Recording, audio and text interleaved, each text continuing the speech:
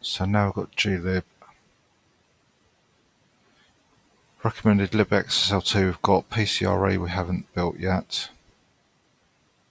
Um, and then it's got some others like dbus, which again needs um, things like um, Xorg thing, I believe. I remember.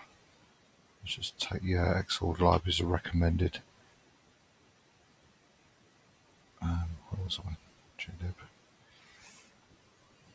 Optional GDB 9.1. I think that had a load of, yeah, so this looks like this is going to be another one to make a note of to reinstall at a later date.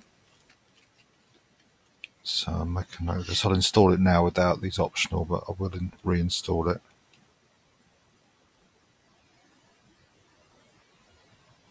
So that's glib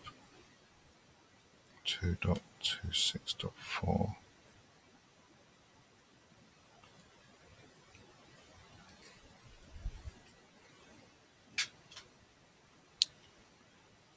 And some runtime dependencies there. Let's have a quick look at that. Yeah, again, this is getting into the area of um, like uh, Xorgy type things, like graphical type things. Yeah, I think we've got this one already. So, um,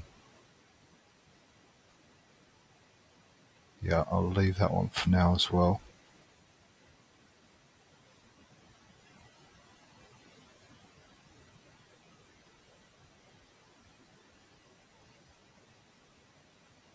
Uh, it says some these two packages are needed for some of the tests. I think these are again related to kind of GUI stuff. Or maybe not, maybe not that one.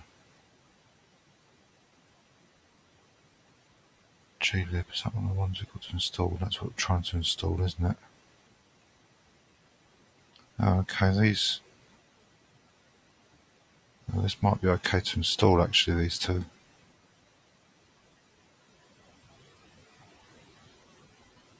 Dependencies. Yeah, I think I'll install them. They don't look like they're too onerous. Um, although itstool is something we're trying to build, yeah. Let's have a look at that one. Oh, we can build that because we've already installed that. So I'm going to move that all the way to the end here. Um, which one was it? Desktop was it? That one, yeah. So that's a requirement of that.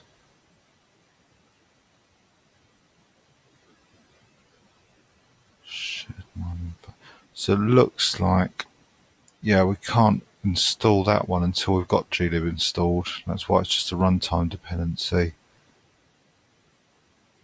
And also same with glib. So we need to install glib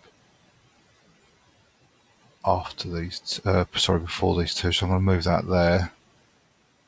Let's have a look at this PCRE. That just needs its Valgrind. So I think we can safely go for PCRE and for now that'll fulfill at least the recommended and we can after we've installed glib, I think we'll install these two and if it needs a test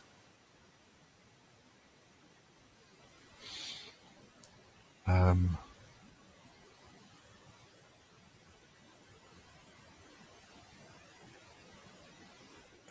test suite, yeah, I think let's get PCRE done, we can read that once we've got this one out of the way. So let's go back to this and look for PCRE. So there's two here, it's PCRE and PCRE2. We want PCRE 8.44, which is one that's highlighted, so that's good. So okay, I'm going to try the D here, download on FT, the FTP link, see if it works. Um, save to disk.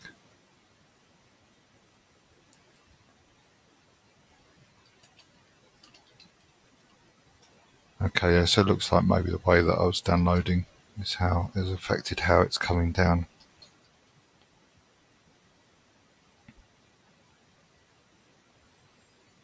Okay, so PCRE. huge configure command. Let's check actually there's any additional options. Got libzeb, libbzeb, libreadline, cell static. Okay, there's an extra option here, enable JIT, enables just-in-time compiling, which can greatly speed up pattern matching.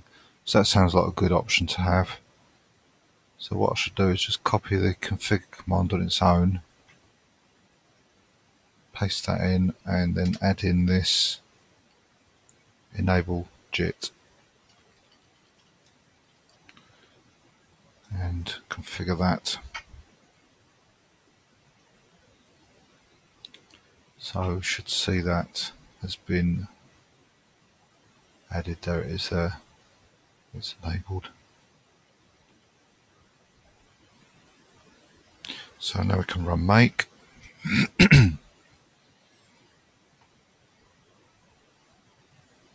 And make check to test it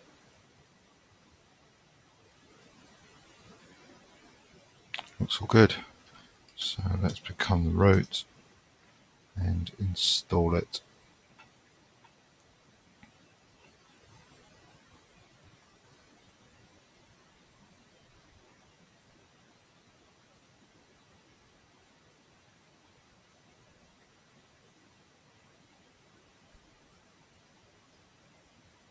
Yep, that's good, that's all done. So come out of that, remove PCRE, and I'll tick that one off the list. So that's in section 9.